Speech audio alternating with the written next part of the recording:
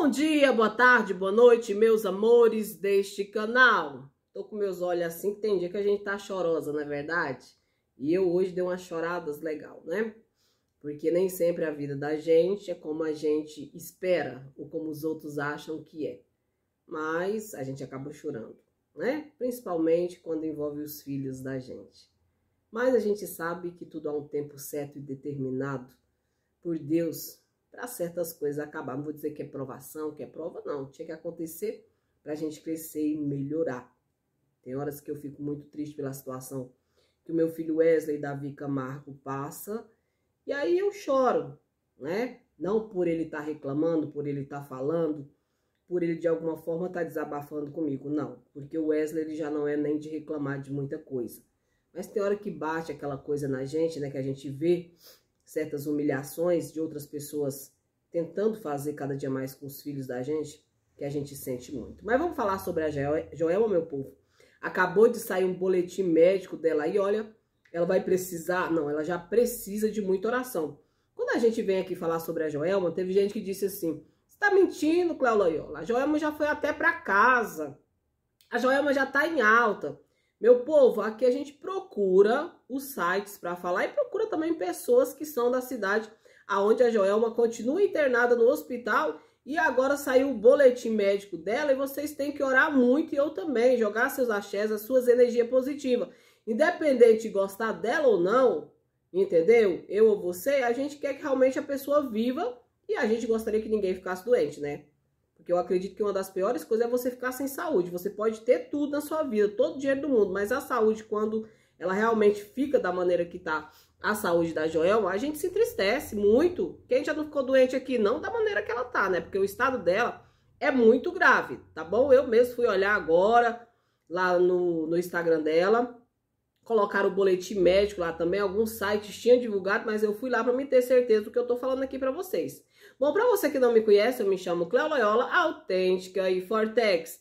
E já peço, desde agora, que você se inscreva nesse canal e ative o sininho. Toda vez que tiver um vídeo novo, você vai receber diretamente onde você estiver. E não esquece aí, galera, de deixar aquele super like, porque quando você faz isso, fortalece as nossas plataformas digitais. Então já vai chegando, meu amor, e vai lacrando.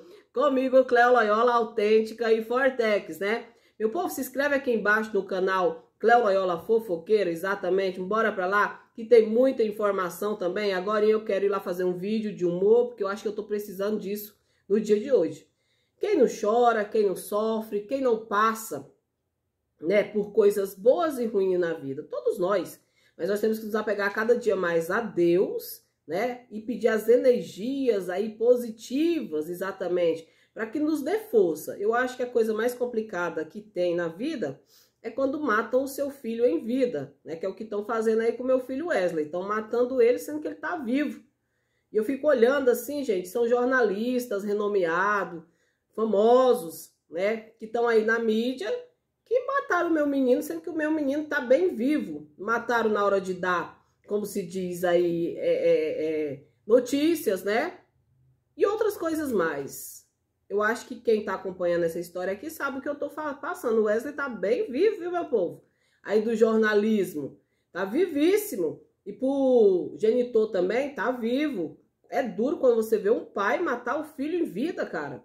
Pelo amor de Deus, para acabar os pequenos Goiás. Aí a gente reflete e vê a história do Pelé, né?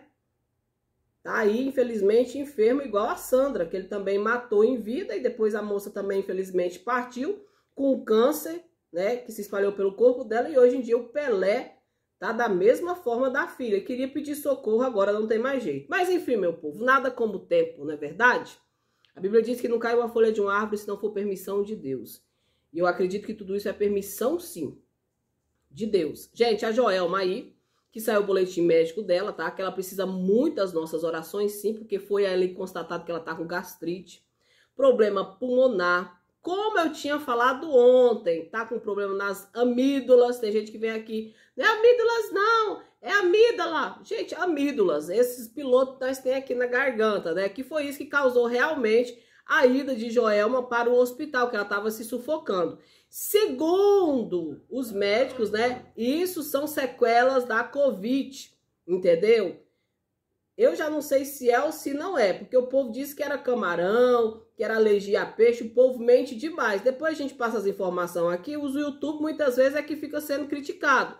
A situação dela, gente, que vocês podem ver aí no boletim médico, que eu vou colocar na minha comunidade aqui no meu canal, não tá brincadeira não. Segundo os médicos, até o final de semana ela tá em casa, gente. Mas olha só, problema renal, problema nos rins, problema no estômago, tá? De gastrite, problema na garganta, né? E outros mais. A Joelma aí, que independente de muita gente tá criticando, dizendo, poxa, ela podia ter ficado quieta em casa, ter de se tratar, ela foi, foi fazer show por causa de ganância, de uma coisa e outra. Gente, independente de tudo isso que ela estava fazendo ou deixava de fazer, ela é um ser humano que está precisando das nossas orações. Então vamos orar, vamos clamar, vamos pedir a Deus que saia tudo bem, né? Que ela realmente passe por esse processo que não está sendo fácil para ela, que está internada sim, não saiu do hospital ainda. É só ir lá no Instagram dela, Instagram, Instagram dela, observar